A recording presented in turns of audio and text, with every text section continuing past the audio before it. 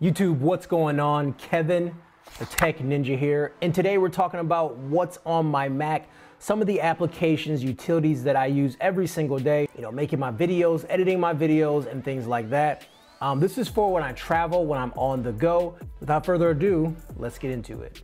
Number one, you notice I have no icons on my desktop. Um, I'm actually using a application called Hide Me. It actually hides the desktop icons. And it's just a simple button here that you see in your little tray icons.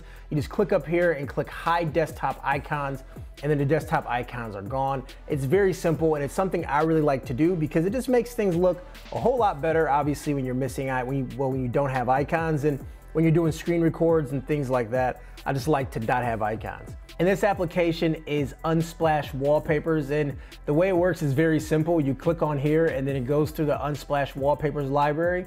And then you just go ahead and select random and it goes through all these wallpapers. And when you find one that you absolutely love, you go ahead and press set as wallpaper. And boom, here it is on your, on your background.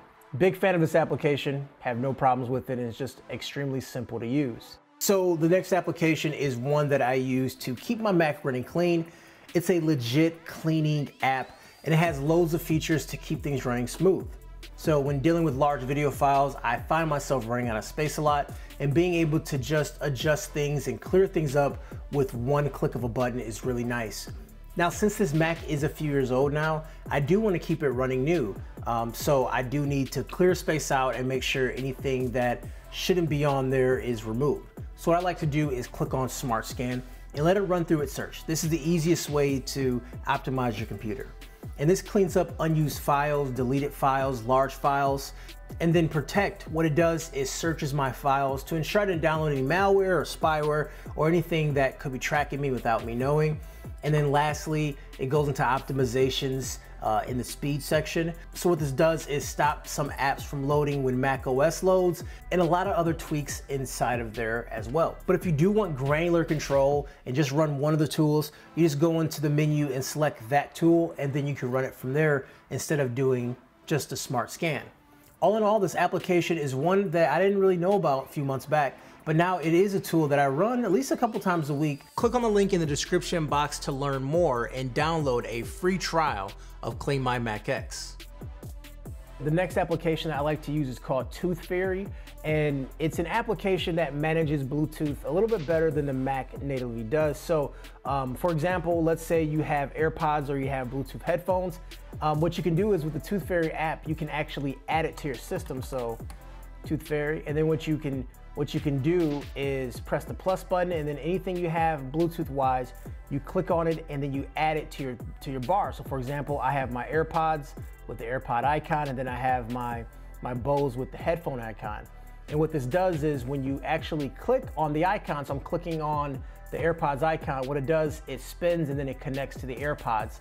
Um, the reason you do that is because right now the way it is, you have to go into Bluetooth and you have to select connect but it doesn't actually work all the way sometimes and you actually have to go into these menus. This is a one click way to connect. It's really good because I have my AirPods on my iPhone a lot and let's say I wanna listen to something on the Mac.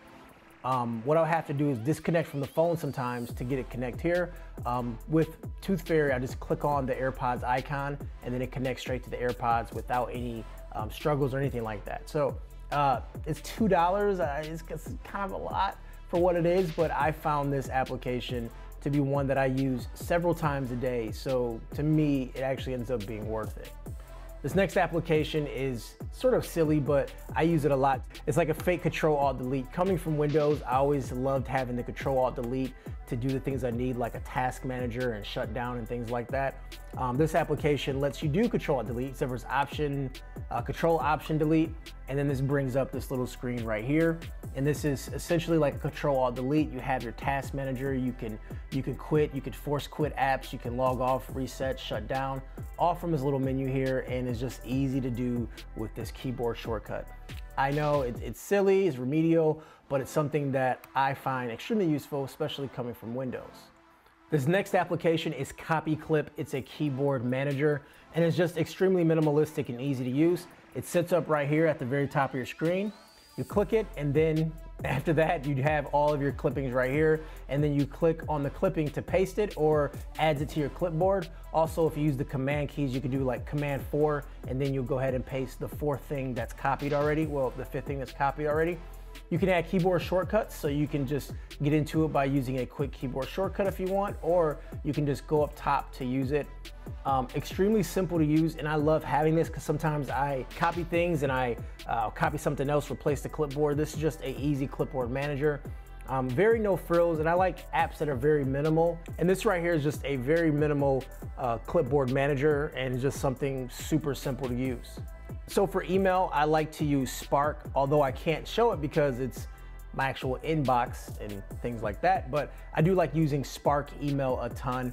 Um, I find it extremely simple to use. Uh, I like the way that it organizes your emails. I like the way it pins items, it's just very nice. And there's a nice application for Android and iOS, which just makes organizing my inbox a little bit easier. Gmail is great, don't get me wrong, but I think this right here just gives me more powerful things like snooze and snooze when I get to certain location and um, you know email reminders, read receipts. And the last application I want to show you is Bear. Um, it's Bear, it's a note keeping app. It's an application that I use to keep notes. It's like uh, Google Keep or it's Notes.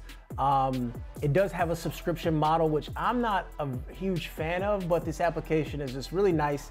Um, it's minimal, which I, I definitely like, uh, and it just keeps everything organized. It tells you the last time you accessed it from his left hand side and just has a lot of uh, visual UI tweaks that makes the app extremely cool. Um, you could uh, post pictures in it. You can have um, a lot of these codes. You can um, break things down with uh, bullet points and links and just overall, it just keeps notes organized. I'm using such a small slither of it, but um, I'm gonna utilize it more and more. And I just find this app um, extremely useful to me. And that's just my go-to notes keeping application and one that, uh, yeah, I highly recommend if you take your notes seriously. And this last application, because I come from Windows once again, um, I miss the ability to snap windows when you when you're actually using Windows. Uh, you know, being able to slide your window to the right and it snaps or slide it down. Well, this application allows you to do that. It brings that functionality to Mac. So um, I can move this to the far right and now I can actually make it a window like this. And then if I open up a window like Safari, I can then snap it and now I have two windows here without having to resize it individually. Also, it allows for keyboard shortcuts, which admittedly I don't use. They're kind of hard to use. But if you use the keyboard shortcuts, you can then move windows around. But I find this uh, application, I use it all the time because I always work on multiple things. I'll have uh, like a document up here or something here, and it just makes things a whole lot easier, especially if you're working on one screen.